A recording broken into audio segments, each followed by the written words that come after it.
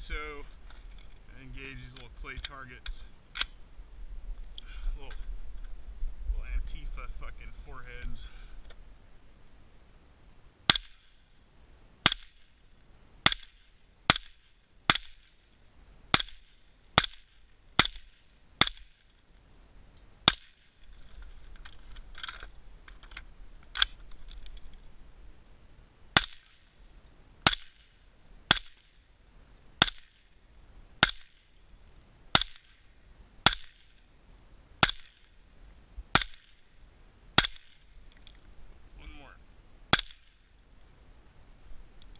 Up there.